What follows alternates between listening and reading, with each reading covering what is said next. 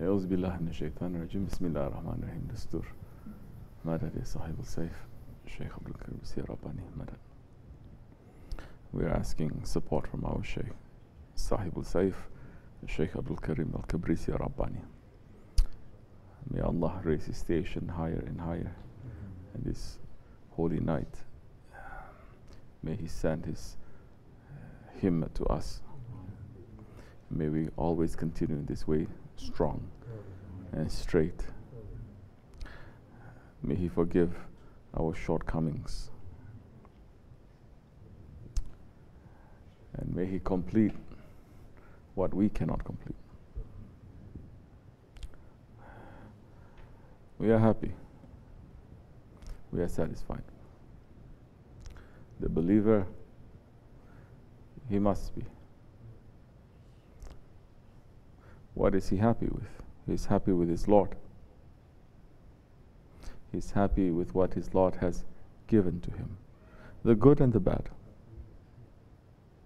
He is happy with what his Lord has shown to him, has made him realize. He is grateful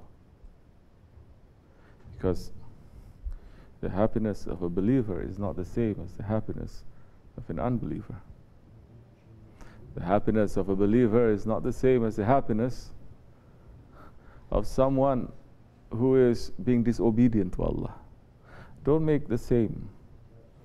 Don't make the mistake to say that they are the same. I'm hearing so many times those ones who are claiming that they are the top level ones claiming that they are believers, but they are busy 24 hours with the dunya. And they don't like people to be busy with the akhirah too much. They don't like people to make zikr too much. They're saying, Why are you being busy with this? We say, Why not? They say, Well, you know, don't you know the dua? The dua is saying, Ya Rabbi, give us the best of this world and the best of the hereafter. Don't you know that is the Prophet's dua? Don't you know that is the dua that is taught to us and is mentioning the world first? With dunya, in this world, first, then akhirat, which means we have to take care of our world first and then we have to take care of the akhirat. We are not Wahhabis to be disputing every hadith, every ayat, every position. Uh, I say, uh, very good. It is good. It is true. The ayat is saying, Ya Rabbi, give us the best of this world and the best of the hereafter. But we're asking you, what is your meaning of this world?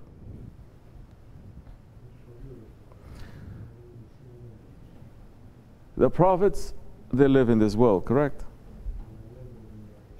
Didn't they? 124,000 prophets. The way that they look at this world is not the same as the way others look at this world. Same world, but different reality. Musa alayhi salam he live in this world.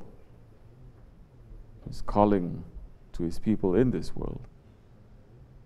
You think the way that he looked at this world to call his people to the way of Allah in this world, the way that he looked at this world is the same way as the Firaun look at this world. Same world. It's not the same, completely different. Look at the way that Ibrahim alayhi salam look at this world,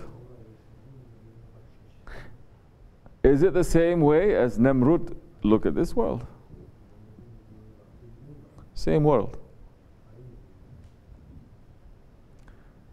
Ibrahim alayhi salam, he wants the best of this world.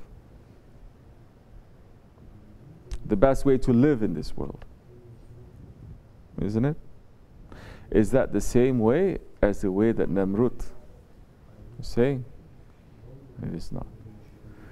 Holy Prophet والسلام, now, the way that he looked at this world and he looked to this world and teaching those who are coming after him about this world, is it the same as the way that Abu Jahl and Abu Lahab look at this world? Not the same. Same world, but the reality is different. So now, when you say, give us the best of this dunya, which world you're looking at? Which dunya?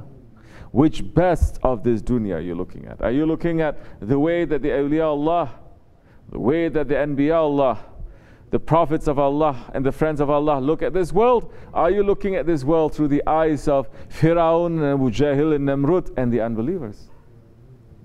Because so many times those Wahhabi type minded people who are saying they're busy with this dunya, then they say this dua, this ayat, saying the best of this world. And we ask them, What is this world meaning to you? They say, You know, whatever the Ahli dunya they are running after, we have to have also. They're running after big cars, big houses, big wives, I mean, big bank accounts. So, Muslims also should have all of this. This Muslims, believers should have all of this. This is what Allah is meaning when He says, Prophet ﷺ is meaning when He says the best of this world. Is that true? It's not true.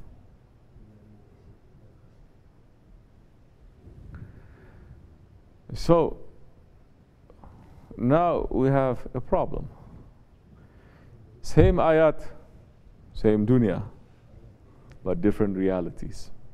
Which reality you want to follow, and which reality it is according to the will and the pleasure of Allah, and which reality it is according to the will and the pleasure of the ego and shaitan. Take your pick. It is open to you. Choose whichever one that you want to take. But don't fool yourself to say, no, no, no, no. What my ego wants is also what Allah wants. Never. Because the way of the Prophet, والسلام, the way of the awliya Allah, they are clear. Because haq, it is distinct, it is clear from batil. You cannot say they are the same. So now those ones who are saying, no, we must run after this world, then later we're going to run after the hereafter.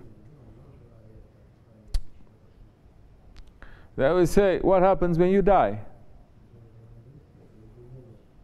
What happens when you die? What happens when you die before you can run after the hereafter? And you collect everything from the dunya, but you didn't collect anything from the hereafter. If you go according to your understanding and your logic, you're saying both they are very, very blessed. Then take your dunya and bring to the hereafter. Take whatever you earn and put it inside the grave and see if you can uh, have a good hereafter. So many earlier teachings, so many earlier religions, they try to do that. Hmm?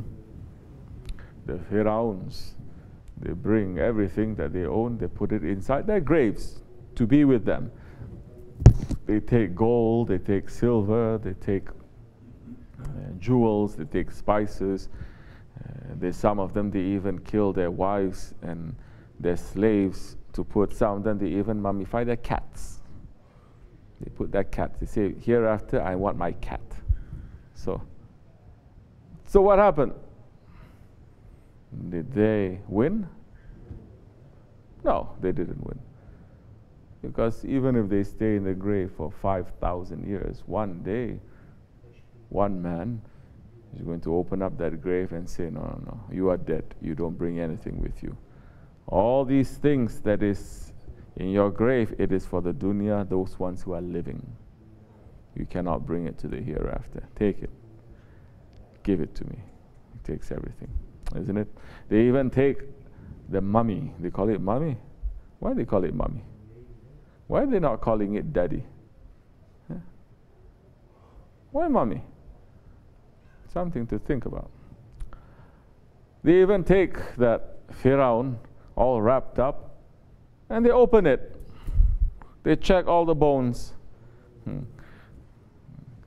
When it first came out, this, this obsession with Egypt and all these kinds of things, that is when the Khilafat is falling down and all of them come into all these Muslim lands and they decide to take and steal everything and to put it in their houses, put it in their museums. Some of them they go so crazy, they even say there must be some magic in the mummies too. And they take the dead bodies and they grind them and they eat them. So from that time they were already uh, zombies.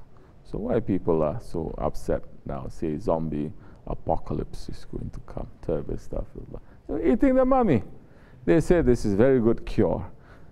I'm not joking, they were. They make tea from it and they drink. Don't try it, it's no good. Go to the garden, take some mint, make tea, drink it, it's good.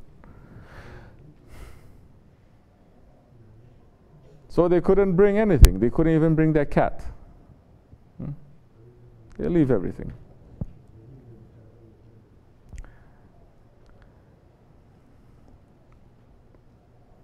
Iskandar, when he passed from this world, he said, When I pass, I want everyone to see my body and make sure that the whole world sees this one who Mm, conquer this whole world. But when you pass and when you display my body, make sure my hands are sticking out like this. Empty. Empty. Saying, although I managed to conquer the whole world, Iskandar brought nothing with him to the grave. So you cannot take your dunya to your grave. So you say, first you have to earn the best of this dunya, then you earn the hereafter. So you earn the best of this dunya. The Firauns, they got the best of this dunya. But of course, today's people, they live better than Firauns because today's people, they become Firaun. It's true. They become Firaun. Not even Firaun can have indoor plumbing and just flush like that. Everyone can do it today, hmm? sitting on the throne. In the old days, only the pharaohs they can afford to go to a, um, what is it called, mortician? Huh? Mortician? Mortician, you know mortician? When you're dead, somebody come and they put makeup on you. Don't try that too. It's no good. They dress you up. If you die and you see the image coming and you're like this, and you're stuck like that, the mortician comes and they cut here to relax the muscles. So your face is like this, you can relax. They cut over here, they cut over here to relax your body. So it looks as if you're sleeping. Then they put makeup, put nice clothes to you.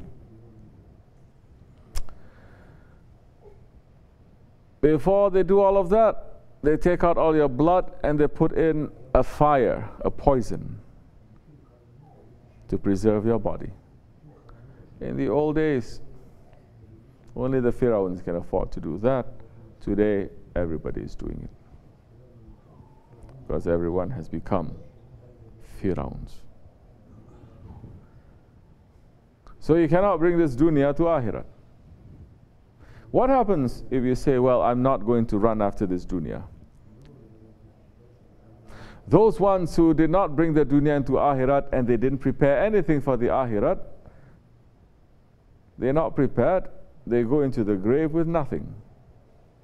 With nothing, they're going to have to suffer at that time. Because they didn't teach themselves yet how to live the life of the hereafter. Because they're busy living the life of this dunya. But what happened to those people who did not collect this dunya? And they were busy collecting hereafter. Do they go to the empties, uh, to the graves empty? No. they go to their graves full. In this dunya, maybe everyone is going to look at them to say, You are fools. You're not collecting from this dunya. You are fool. But this dunya is fake. This dunya is false. This dunya is just a deception. This dunya is just a lie. Don't say it is my words. It is the words of Allah subhanahu wa ta'ala. Saying so many places in the Quran, saying this world is a lie. It is a deception to you. So they're not busy with this lie, they're busy with the reality. So they collected everything. You think they're going to lose that time when they enter into the grave and when they enter into the world of the hereafter? They win. They win very big time. This world passing, this world does not have the value. Allah does not put the value to this world as much value as He put to one wing of a mosquito. So now, which dunya are you looking at? What kind of dunya is it that you want? Where are you taking it from, these teachings? Who are you following? If you're following the prophets and the inheritors of the prophets, you're going to look at this dunya the way that they look at this dunya. You're going to look at this dunya the way that Allah wants you to look at, at this dunya. And the Quran is saying in so many places, this dunya is nothing but amusement and deception and lies. And you're going to start looking at the akhirat with the eyes of Allah and His prophets. And the akhirat is what? It is everlasting. The akhirat, it is real. So once you start looking through their eyes, you're going to start preparing yourself for that journey. So, what does it mean? The best of this world, then? To the prophets, to the friends of Allah, the best of this dunya is that number one, they are free to worship. They are free to worship.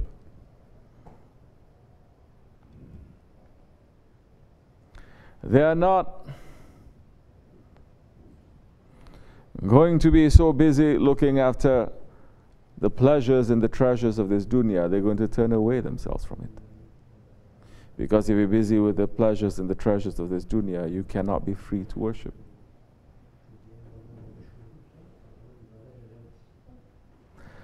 To the prophets, the best of this world is having Allah and His Prophet. And the best of this world, what this world can give, one pair of clothes, some bread to eat, a roof over your head. And being able to worship. That is the best of this world. Simple life. And the best of the hereafter.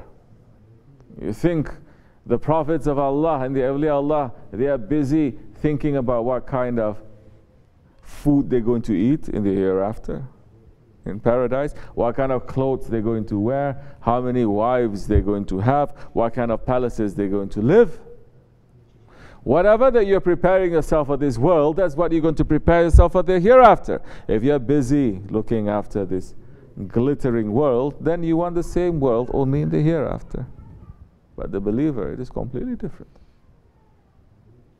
The believer says, I don't want this world. And the hereafter is not a better, um, uh, how we say it, version of this world. Now, the hereafter to them is something that's completely different. The hereafter is what? Inna lillahi wa inna ilayhi raji'un. I come from Allah and we return back to Allah. So the hereafter is what? The best of the hereafter is to be with Allah. Do you understand? To be with Allah. This is the best of the hereafter.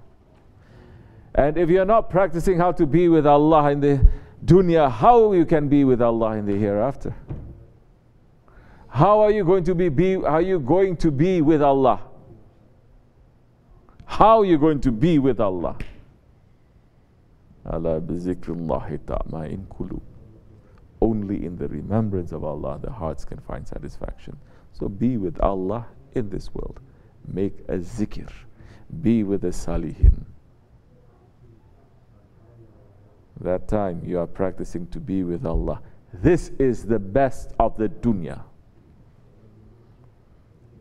And we hope to get better in the akhirat to be with Allah to be with His Prophet, to be with our Shaykh, to be with the ones that we love. If you love this world, this world will lead you to the fire. If you love Allah and His Prophet, والسلام, if you love the awliya Allah, they will lead you to the doors of Jannat. And from there, they may ask you, Where do you want to go? If you want to stay, stay. If you want to be with us, we have another journey we are going to make.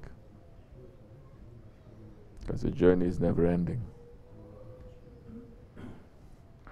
May Allah forgive us and make us uh, to practice the life of the hereafter here in this dunya. We are happy because this is the best life. We are trying to live a simple life. We are trying to worship. We are very weak creatures, but we are happy because we have Allah and His Prophet, because we have our faith, because we have our shares, uh, feet and hand over us. And we are running away from the confusion and the darkness of this world. We are crying. We are crying the skies, they are crying. The earth, it is crying. At the cruelty and the oppression that this world is going through every single day. Allah is the most patient one. But we wait. We wait until the time when Haqq is going to take over everywhere.